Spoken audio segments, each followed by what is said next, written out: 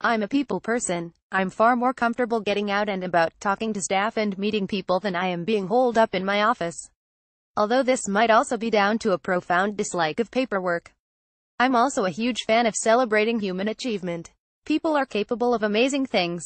I've always believed that. A story I heard about one of our members has made me believe it even more. Brian, 70-year-old retired teacher, has just celebrated his 1000th session at the gym since suffering a heart attack eight years ago. He's become a regular face at the center, working out for 90 minutes at least three times a week, his sessions involving time on the treadmill, bikes and rowers, as well as leg extensions, bicep curls, shoulder presses and wall push-ups. Having never been a gym goer, it isn't like Brian simply returned to old habits. Instead, he created a new reality by, quite literally, taking it one step at a time, building on his cardiac rehabilitation program to set himself new exercise goals. Brian's achievements are brilliant. To come back from such a significant health hurdle and not only recover, but excel, is inspirational. A recent U.S. project, involving 70 to 90-year-olds, found that adding just one extra hour a of moderate exercise to a weekly routine significantly reduces the likelihood of developing mobility disabilities. Another report, published in the British Journal of Sports Medicine, has revealed that moderate exercise aerobic and strength three times a week improves cognitive functions such as memory, attention and task performance in the over 50s. The message is clear. Age is no barrier to exercise, indeed, it is a reason to embrace it. So why don't we? The reality is that we see Brian, a gym regular in his 70s, as an exception to the rule, That the rule being that as we age, aches, pains and the natural wear and tear we all come by, means we are less able to be physically fit and enjoy exercise. So we don't do any. In fact, earlier this year, Public Health England revealed that 41% of adults aged between 40 and 60 walk less than 10 minutes continuously each month at a brisk pace. Things need to change. When is the NHS going to start talking, and I mean having serious conversations, with people like Brian to ask them one simple question how did you do that? The answer could make a massive difference as it could help establish a new set of rules where Brian is a trendsetter and not a statistical anomaly.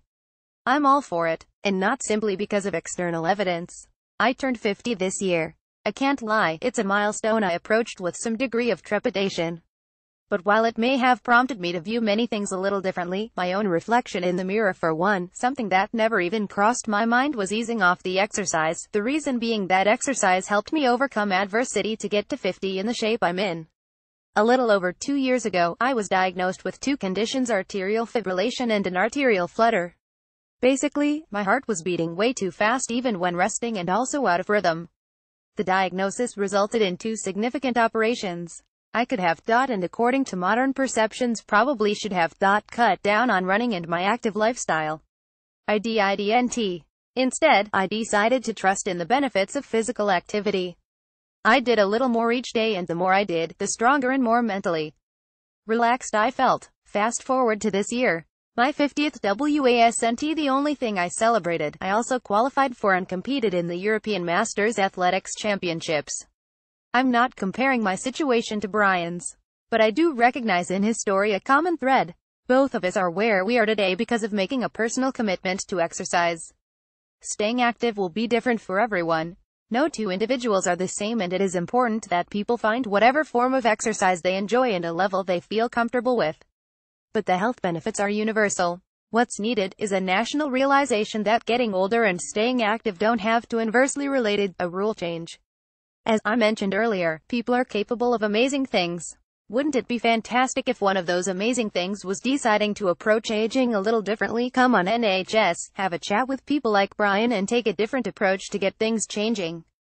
Thanks to exercise he, like me, would certainly say age is just a number it's not a sentence to forced an activity.